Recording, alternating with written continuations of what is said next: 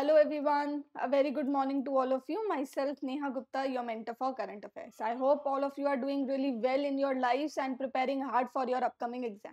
So in the direction of that only, I have brought to you this current affairs video which can help you in uh, clearing the exams. So let's begin. So guys, before that, let me inform you that we have launched the live classes for RBI, SEBI and NABARD. And if you are looking for any course for these uh, these exams then you should give a try to these courses because these are live courses and you know in live courses you have the facility of doubt clearing आपके mentors भी आपके साथ होते हैं so interaction का जो phase है वो बहुत ज़्यादा होता है and you get to know your mentors well in the live classes because then you can ask questions from the mentors directly okay and here मेरा मतलब पर्सनल क्वेश्चन से नहीं था मेरा मतलब था आपके डाउट से तो आपके डाउट्स जितने ज़्यादा क्लियर होंगे you get to feel connected with your mentor directly and this helps you in uh, you can say understanding the topics better. Okay. Moving ahead this is our mobile application. I hope all of you know about it. Now let's begin with the first question. And today's session is going to be really really interesting because i have so many facts to tell you. So it's like the simmering cup of knowledge which i have in me and i just want to pour it out. It is just eager to get out of me. Okay, so let's begin. The very first question is Indian Army's Northern Command has inducted Kalyani M4, an indigenous all-terrain high mobility combat troop carrier with armor and mine protection in Jammu and Kashmir which company of the Kalyani group has manufactured the carrier. So as clearly you can see in the question itself that it is this Kalyani M4 is manufactured by a company of Kalyani group and Kalyani group is guys a conglomerate of different companies. So which company has exactly manufactured this troop carrier? So it is Bharat Forge you must have heard about this company prior as well because this company remains in the news for manufacturing different vehicles for the Indian Army. Okay. Now coming to this news, what is Kalyan M4? Kalyani M4. So guys, this is the Kalyani M4. It is a troop carrier. So it is basically a van which will carry the soldiers from one place to another place. And you have read it in the question itself that it is mine proof. It is attack proof. We have seen the pulwama attack and uh, in order to stop such kind of mishappening from happening again we have taken we are taking various measures such as this kalyani m4 one more vehicle has been developed by none other than our tatas okay so tata has also developed this quick reaction fighting vehicle and the purpose of this is to protect the troops while traveling and at the same time it has uh, you can say missiles and guns which can retaliate against the camouflage attacks okay? If there is an ambush then these uh, soldiers the soldiers inside these van can attack back okay? So that is another uh, you can say vehicle which will help India in its mobility, okay, Indian army especially. And one more thing that is कि ये जम्मू कश्मीर में uh, की गई है commission okay so northern command of Jammu Kashmir has commission this Kalyani M4 vehicle. Now guys, we are talking about Kalyani Group so much and I have already told you that Kalyani Group is an important company first of all it manufactures a lot of goods and it remains in the news. And secondly because it has formed a very important joint venture with an israeli company. So which company it is? So guys this kalyani company has formed the joint venture with rafael advanced systems private limited.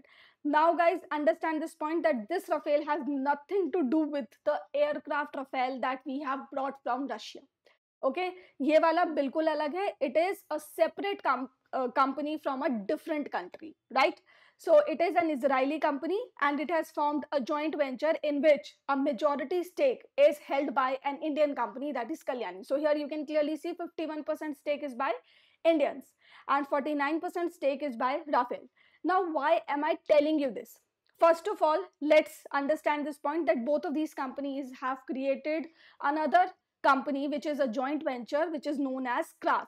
KRAS is Kalyani Rafael Advanced Systems which you can clearly see here. Now this was formed in 2017 and the basic purpose behind form, uh, forming this KRAS is to manufacture the anti-tank missiles. Now anti-tank missiles are the missiles which are used to hit the tanks because that is the anti tank तो tank को मारने के लिए ही ये missiles create की जाती है। या तो टैंक्स को मारेंगी या फिर हैवी आर्मर्ड व्हीकल्स के लिए ये मिसाइल यूज़ होंगी। So in order to manufacture those missiles class was established and the manufacturing facility of that was established in Hyderabad okay so I hope this much is clear one more thing that is important that before this facility Kalyani Group and Rafael, both of them have already collaborated for establishing an artillery gun manufacturing facility in Pune. So these are two facilities which uh, Kalyani Group has established with this Israeli company. Now coming back to the question, why did I tell you the stakeholding? Now understand this point guys that this KRAS was established in order to produce the anti-tank missiles in India as well as export them to the Southeast Asia. So obviously business banega और business बनेगा तो majority पैसा majority stake holder के पास आएगा। So here 51 percent stake is held by the Kalyani group obviously the the money that we are investing into this class company that is coming back to India itself. And at the same time, we are also getting the technology from this Israeli company. And we all know that in technology, Israeli ka haath koi nahi pakad sakta. Israel is very much ahead as far as the defense technology is concerned. So here it is a win-win situation for India. So I hope that you have found this information useful, but it is not at all complete now. I mean, I want to say कि अभी यहाँ पर तो picture शुरू हुई है पूरी video में बहुत सारी इन्फॉर्मेशन है जो आपके लिए बहुत यूजफुल है so let's be move to the second question The second question is how many women are targeted by NASCOM Foundation and American Express under their Women Empowerment Through Technology project? So here guys, 700 is the right answer. Option D is the right answer. Now, it is basically a very simple news. Very often you come across such news. NASSCOM Foundation has partnered with this American Express, which is a payment service provider, not exactly a service payment service provider, it is a gateway. Uh, like uh, the American Express cards we use. So similar kind of services provided by the American Express like Visa and MasterCard provide. So NASSCOM Foundation and American Express, both of them have collaborated to skill 700 women graduates. Okay, now what kind of skill training will be provided? So skill training in the emerging technologies like artificial intelligence, machine learning, new age technologies, etc. etc.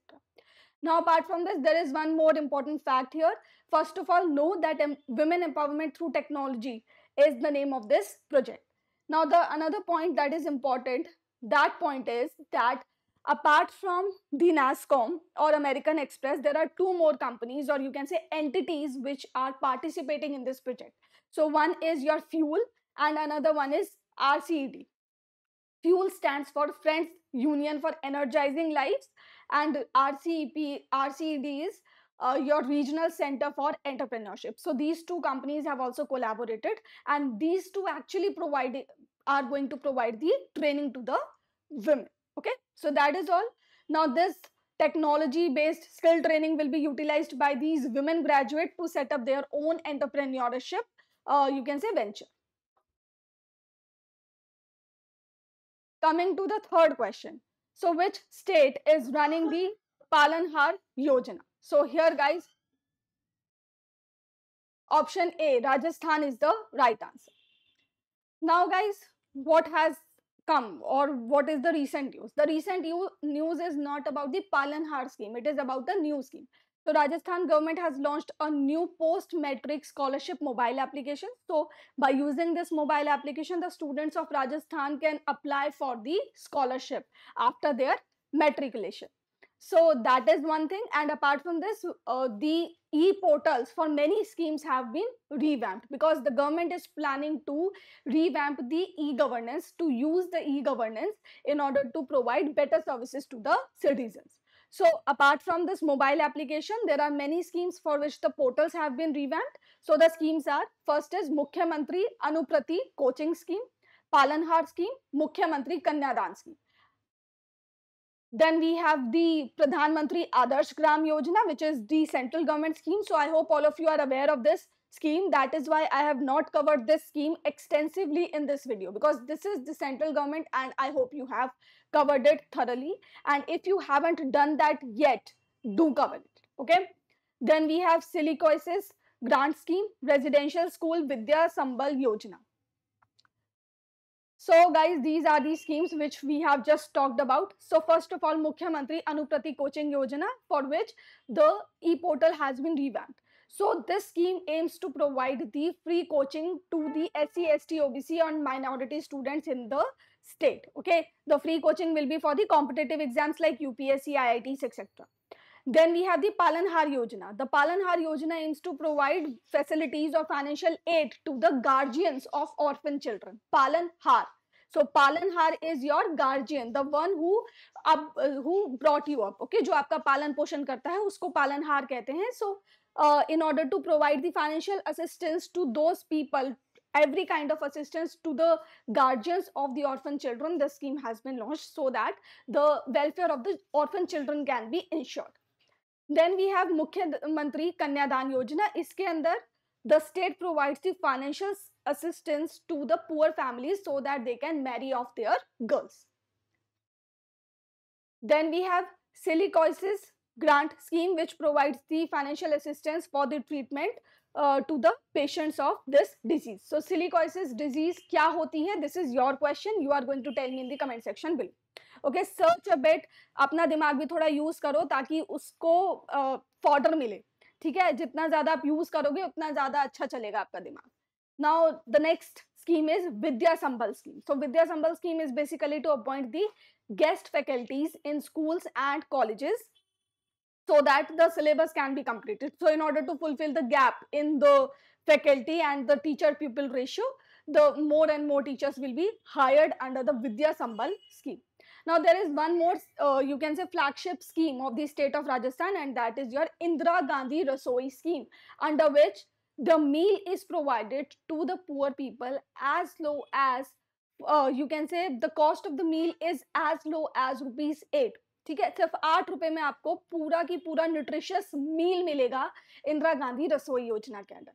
However understand this point that this is not the first of its kind scheme in India many states are operating such scheme and now this is your task you are going to tell me that which states are operating such schemes along with the name of such schemes okay so this is your task. Do find it out and it will be a really interesting task for all of you.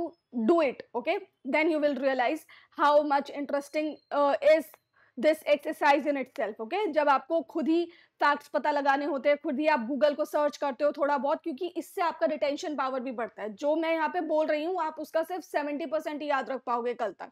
And उसके बाद आप उसका और भी कम percentage याद रख पाओगे अगर आपने रिवाइज नहीं किया तो ठीक है लेकिन अगर आप खुद कुछ चीज़ सर्च करोगे खुद किसी चीज़ को पढ़ोगे या लिखोगे तभी मैं बोलती हूँ नोट्स बनाना बहुत ज़रूरी है because when you make your own notes you realize you uh, retain a lot of things and you visualize the things okay so that is an important thing that you should do आपको हर चीज़ spoon feed नहीं कराई जा सकती so find it out and do tell me in the comment section below now there is one more initiative or you can say a thing that happened and that thing is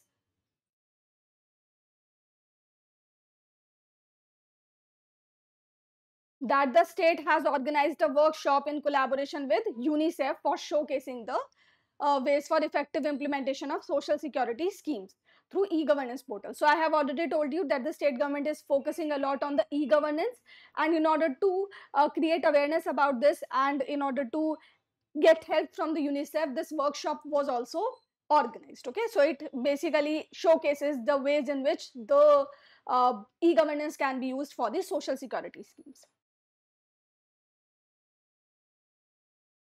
So we have discussed a lot about the Rajasthan schemes. Now it's time to move on to international affairs. So Samantha Cristoforetti has taken over as the head of the International Space Station. She is a European Space Agency astronaut. Which country does she belong to? So here you have the five options, out of which Italy, guys, is the right answer. So Samantha Cristoforetti is from Italy and she has taken over as the head of the ISS. So at present, we have 11 crew members on the international space station which uh, all of them belong to different countries she belongs to italy so she has taken over that Now, guys, we are talking about the International Space Station. So, there is a very interesting fact about it. First of all, let me tell you the launch date. It was launched in 1998 and soon it is going to decommission. So, ISS will be decommissioned in 2031. So, that is also going to be a remarkable date and an important date for all of you to remember because in your examination, you can expect such a question. Now, the interesting fact which I was talking about. So, did you know this fact that ISS is not the only space station at present in the low Earth orbit? I hope all of you are aware of it. But did you know that before ISS, there were three countries uh, which had their own individual space stations? Okay, not exactly three countries because the third one is China, which has recently launched its space station. So, there were two countries, US and Russia. So, US uh, space station was Skylab and Russia's space station was, I don't remember the name exactly right now, so I hope you will search it out. But Russia's space station was also there in the low Earth orbit, which was later on decommissioned. And right now we have the International Space Station, which was created by 15 countries. But but remember 15 countries ne banaya tha but at present the use of this space station is uh, done by many countries across the world okay? Not only it is restricted to the european union and the us many countries are taking advantage of the iss research and everything okay? But remember that the participating countries the founding fathers of you can say the iss were 15 countries in total. So i hope you have liked these facts now remember that US had launched its individual uh, space station, Russia had launched it, and China is the third country in the world to launch its space station. China was also the third country in the world to host its flag on moon through its Chang'e 5 space mission. Okay, so that was also another, uh, you can say, milestone or achievement for China. Now, what is the name of Chinese space station? This is your question. Do tell me in the comment section below. The next question is recently World Economic Forum has released the Education 4.0 report in collaboration with United Nations Children's Education Fund and YUVA, uh, which is an initiative. So when was the Education 4.0 India initiative launched? So guys, the right answer here is 2017. No, sorry, 2018. The right answer is 2020. Not 2017 or 2018, it's 2020. Okay, first of all, we are going to discuss about this report. So World Economic Forum has released this Education 4.0 report along with your Uni UNICEF and YUVA. Now, what is this Education 4.0 initiative exactly which we are talking about? So Education 4.0, have you ever heard about Industry 4.0? So it is the fourth revolution of industry that we are seeing as of now. And in this fourth revolution, we are seeing the emerging technologies, the artificial intelligence, machine learning, digital technologies, all of which are revolutionizing the industrial space, right? Now, education 4.0 is also related to that because now we are using these technology in the sphere of education. So, how are we going to do that? This is exactly education 4.0. Okay, you must have noticed this fact also that after COVID, many of the education platforms have come on youtube and now youtube has become you can say an encyclopedia of information. You can extract every kind of information on youtube which is actually a boon for all of us okay? So utilize the platform of youtube google because now many many uh, you can say content creators have come on the platform and at the same time content is also available. But ye cheez dhyan rakhna ati ki bhali na dhoop ati ki bhali na chhao अगर बहुत सारा content आपके पास available है, तब भी आपको इतना पता होना चाहिए कि आपको कौन सा कंटेंट यूज़ करना है बनाने में, ठीक है? कौन सा कंटेंट आपको यूज़ करना है एग्ज़ाम के लिए। Okay coming back to the News Education 4.0 India initiative was launched in May 2020 and uh, it has uh, basically convened over 40 partners from the education technology government and academic and startup communities. Now the, the basic purpose is to create technologies which can be used in the education sphere or the existing technologies which we can use in the existing uh, in the education field. Now why are we discussing about this report or what is the content of this report? Because this education 4.0 report is entirely focusing on india and the education 4.0 initiative. So according to this report guys the school to work transition. What is school to work transition school to work transition is basically creating the school students uh, in such a manner or making the school students ready for the industry for the job so how can we do that by providing them the eh, vocational education so according to this report the school to work transition is not going smoothly in india it is facing many hurdles first of all because of the school closures जब school ही नहीं खोलेंगे तो किसी भी type की training या education आपको कैसे मिलेगी school closures there and at the same time vocational training भी नहीं दी जा रही है काफ़ी सारे स्कूल्स में। So that is also a hurdle because vocational training is not in vocation as of now that's the truth of India and it needs to imbibe that okay many commission in the past be it the Kothari commission be it the Mudaliar commission every kind of education commission that was form every commission has recommended this to introduce the vocational studies in the school curriculum and at the university level but God knows what is stopping our Indian government, what is stopping our education ministry from implementing that in the education system. So that is all what the report is saying. Apart from this, there is one, uh, you can say numerical fact also that India has more than 60 million secondary and higher secondary students. But 85% of the schools are yet to implement the vocational courses as part of their curriculum. So that's the reality. Now, can any one of you suggest me what are the measures through which we can implement the vocational studies in the schools pan-India efficiently? Suppose this is a descriptive question in your ESI paper of upcoming NABARD 2022. So mention your pointers keeping that thing in mind, okay? Keeping that your NABARD exam is in your hand or you are answering the question in the NABARD ESI paper. Okay, the sixth question that we are having is what is the theme of the International Day of Girl Child 2022? So here the theme is our time is now, our rights and our future. Now, do you know what is the date? The date is today itself. So it is the International Day of the Girl Child.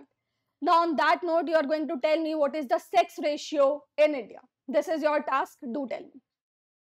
The seventh question is where is the Indira Gandhi Memorial Tulip Garden located? So here guys, this is located in Jammu and Kashmir. Now why are we discussing about it? Because the news is not at all related to this.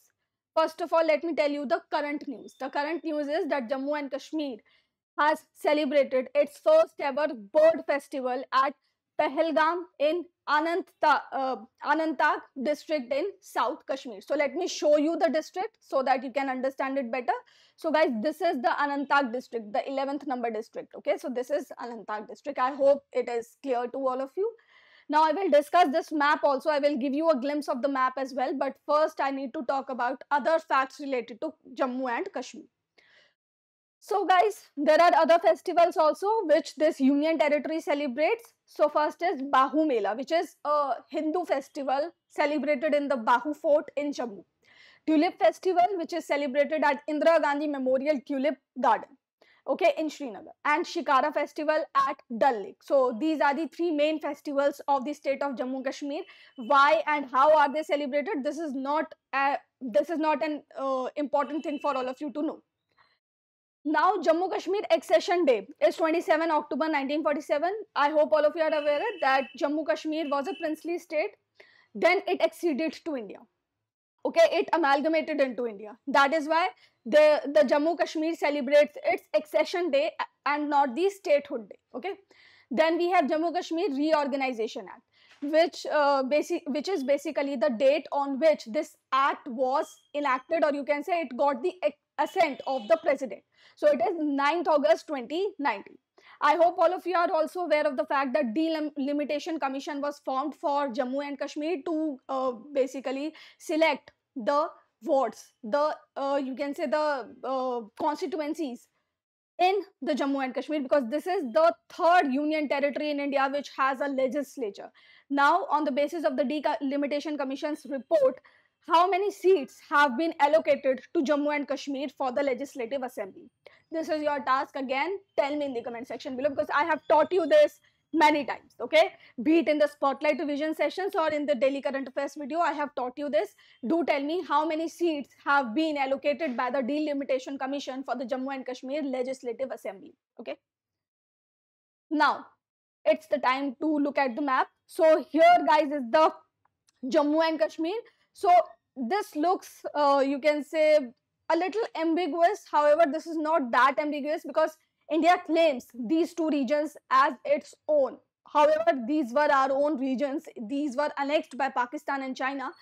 But the true picture is this okay? The land which we have under our control is this much okay? This area is your pakistan occupied kashmir. This area is the Aksai Chin, this area is Ladakh, and the area which is in colors is your Jammu and Kashmir.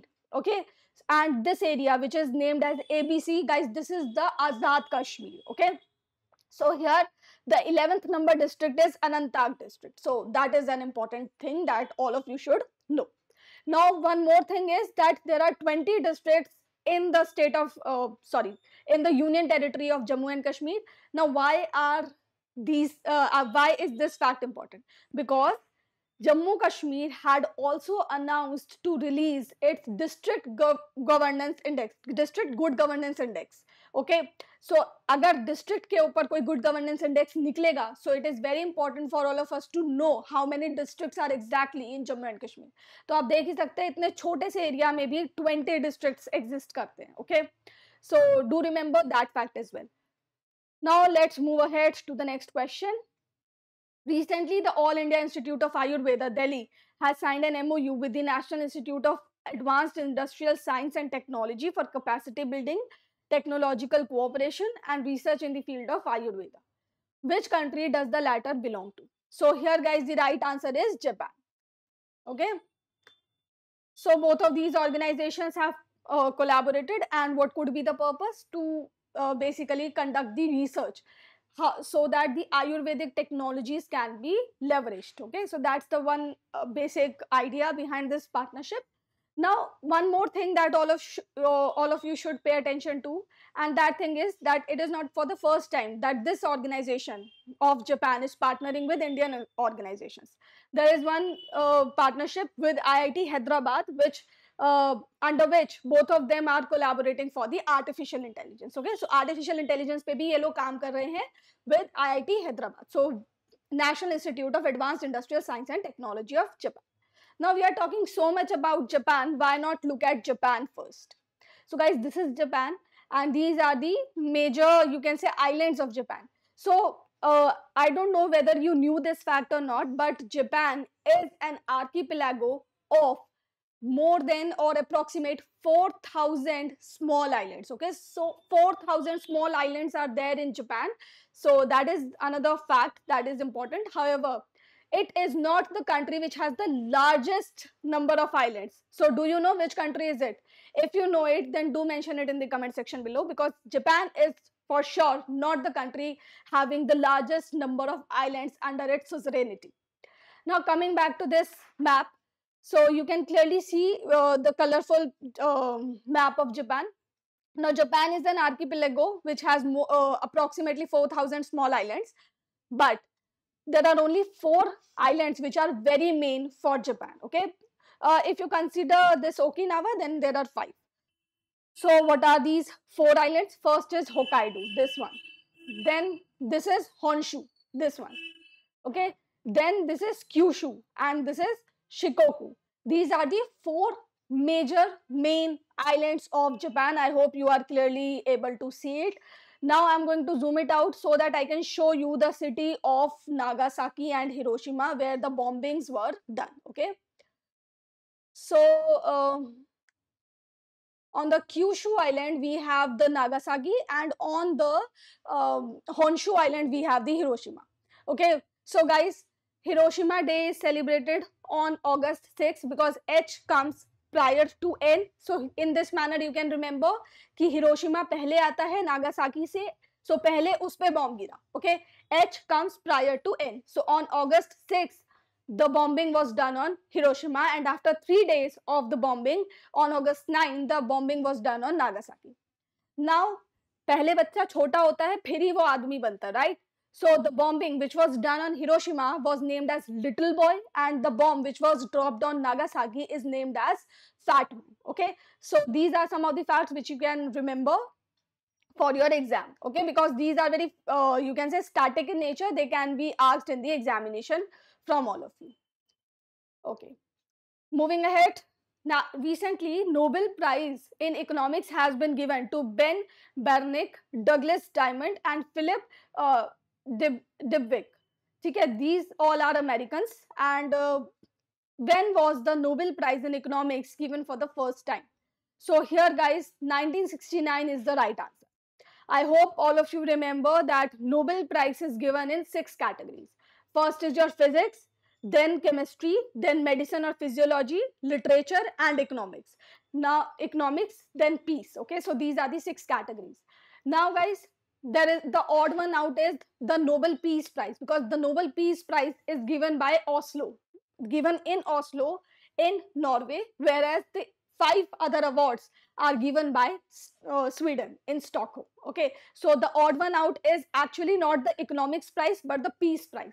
However, economic prize was later on added into the Nobel prizes because the Nobel prizes were started in the year 1901 and uh, when the Nobel prizes were started, only five categories were there. Okay, physics, chemistry, physiology, literature, and peace. These are the five categories in which the Nobel Prize was given from 1901 till 1969 and from 1969 onwards the Nobel Prize was also given in the field of economics okay so that is the fact now apart from this there is also a trick do you know that all the uh, dates from option A to D all these dates are related to the Nobel Prize yes I have already told you that in 1901 the Nobel Prize uh, was started in 1833, the man after whose name the Nobel Prize has been named was born.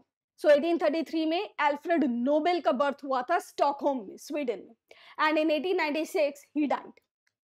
Okay, So, Nobel Peace Peace Prize भी दिया जाता है but do you know that the person, Alfred Nobel, was categorized as the merchant of death? मौत का सौदागर भी कहा गया था एल्फ्रेड नोबल को जब वो ज़िंदा थे उनके टाइम्स में।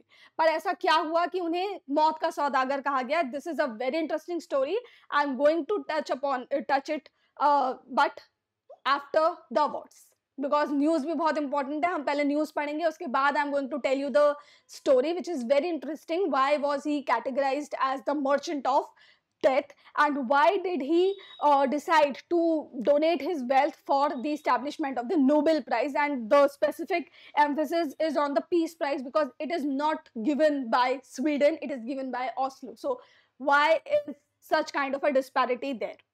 First of all, let's discuss the awards.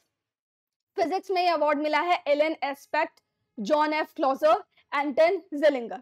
Thankfully, this time Oscar, uh, sorry, Nobel जो है वो उन लोगों को मिले हैं जिनके नाम याद रखना आसान है वरना नोबेल प्राइजेस ज़्यादातर थोड़े डिफ़िकल्ट नाम वाले लोगों को ही मिलते हैं बट इस टाइम सारे नोबेल अच्छे लोगों को मिले यू कैन से मतलब जिनके नाम बहुत ईजी हैं याद रखना इसमें ज़्यादा डिफिकल्टी आपको नहीं होगी याद रखने में okay coming back to the news why have they won the award now guys sometimes the reason are also आक्स्ड okay so reason भी इंपॉर्टेंट है प्लीज इसको याद रखिएगा क्यों मिले हैं इनको अवार्ड क्यों इन्हीं को फिजिक्स में अवार्ड मिला है because they have uh, experimented with the entangled uh, photons, establishing the violation of Bell inequalities and pioneering quantum information science. Uh, very difficult it is. Okay, so what you can do is you can just pick out the keywords. Photons, okay, violation of Bell inequalities, quantum information science. These are the three keywords. Just remember these three keywords along with the winners and their nationalities because this is very important. Nationality तो आपको भूलनी नहीं है ये तो पूछी जा सकती है. Then in chemistry we have Caroline L. Bertozzi from America, Martin Maiden, uh, Denmark, K. Barry Sharpless from uh, America.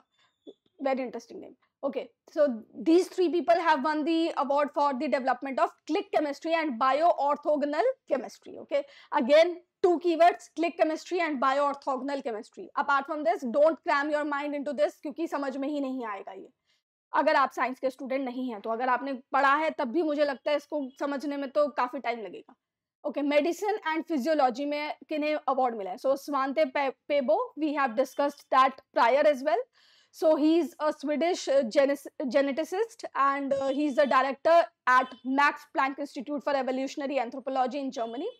and he has won this award for his discovery that at present the homo sapiens as we are we have the dna traits of our extinct relatives okay the neanderthals and the denisovans then literature annie ernaux so she has won this award for the entire body of her work. So nobel prize in literature is not given for only one novel novel or anything like that. It is given keeping in mind the entire oeuvre of a writer. Okay so on the basis of that she has won this award for 2022 then we have the peace prize Ales uh, Bialiatski from uh, belarus center for civil uh, liberties from ukraine memorial human rights organization in russia. So these three organizations have sorry this person and two organizations have won this award for uh, their uh, their efforts to keep the freedom alive the to protect the human rights and their freedom. Last but not the least economics which is the very latest award. It was announced yesterday only. So ben Barne, uh, Barank, douglas diamond and philip uh. All of these have won the economics prize. Okay, so uh, okay, so these people have won the prizes in economics. So they have won the prize because uh, they have uh, researched on the role of banks in the economy, especially when the economy is in crisis, and this in itself makes this award all the more important. Okay, so do remember this fact now let's discuss about this merchant of death okay i should not say this because uh, he did not intentionally did the research okay why is he said the merchant of death or why was he claimed as such because he was the one who worked on the explosive his family was in this uh, you can say profession of uh, working in the explosives manufacturing explosives तो ये भी explosives बनाते थे और explosive बनाते बनाते इन्होंने dynamite का इन्वेंशन कर दिया in the nineteen century so the intention of this person was you can say pure because इन्होंने जो डायनामाइट का इन्वेंशन किया था वो वो किया था ताकि आपको मिनरल uh, इंडस्ट्री में एक्सप्लोरेशन इंडस्ट्री में और कंस्ट्रक्शन इंडस्ट्री में हेल्प मिले. But later on people started using the explosive the dynamite in the war so Crimean war उसी के बाद हुआ था उसमें डायनामाइट का बहुत यूज़ किया गया था. So that is why he was claimed as the merchant of death. And when he read that article about himself in the newspaper he was shattered and then he decided to donate his entire wealth for establishing the nobel prize. And in his will he decided to keep the peace prize for the oslo. Okay? So oslo which is the capital of norway from there the peace prize is given. However it is not known why did he choose oslo over stockholm his birthplace. So that is unknown now there is one more thing we are talking about peace. So Stockholm International Peace Research Institute is the very important institution in the world which researches on the arms trade and the import and export of the arms across the world. So that is another important fact. I hope all of you would remember it. Now it is the time for us to discuss the last question of the day. Okay, Taman Peninsula of uh, uh, Krasnodar Krai in Russia and Kerch Peninsula are connected by the Kerch Bridge, which has got damaged recently. The bridge used to connect two different countries, which are dash and dash. So, what is the right answer? The right answer is Russia and Ukraine. So, what happened? So, first of all, look at this. This is the Kerch Bridge, and what happened recently? There was the tank. There was a tank which was traveling through it, and it blasted. So because of that, it had got damaged and now the connection between Russia and Crimea has got, uh, you can say damaged or you can say uh, अभी इसको बंद कर दिया गया है ठीक है थोड़े समय के लिए However, it is a very important fact to note whether uh, it will affect Russia's annexation of Ukraine, Russia's invasion of Ukraine, or what would be the repercussion of the damage of this uh, bridge. उसको समझने से पहले you need to understand this fact that this bridge is the link between Russia and Crimea and it was created on the strait. I hope all of you remember that strait is the narrow channel which connect the two large water bodies. So Sea of Azov and Black Sea are connected by this Kerch Strait. Okay, so this is the Kerch Strait and on this Kerch Strait we have the uh, we have the Kerch bridge. Okay, so this is the bridge. So th in this manner, it is connecting these two countries. Okay. Now, guys, what is the present situation? Will this damage affect the Russia's invasion in Ukraine. So guys, this is the picture of August, October 20, uh, October 2nd. You can clearly see this much area is under Russia's control. Okay, so obviously Russia does not need exactly this region to go to Crimea. However, this was the shortest distance. That should be kept into mind. Now Russia will have to travel through this region if the bridge is not, uh, you can say, built again in the uh, quick manner. Okay, now we have the latest, uh, you can say, picture first of all pay attention to this Lyman Lyman city okay so these blue a, this blue area represent the Ukrainian forces okay so here you can see that Ukraine is uh, uh, Ukraine is deterring against Russia और अब यहाँ पे आपको दिख रहा है कि Lyman uh, city को पूरी तरह से यूक्रेन ने अपने कब्जे में कर लिया okay so that's the present situation however when will this war end this is something which the world and the god god knows. Not the world but putin and the god knows. Okay so on that note let's end this session which has got stretched a little bit. I'm sorry for that. Thank you so much for watching this video. Have a good day. Keep learning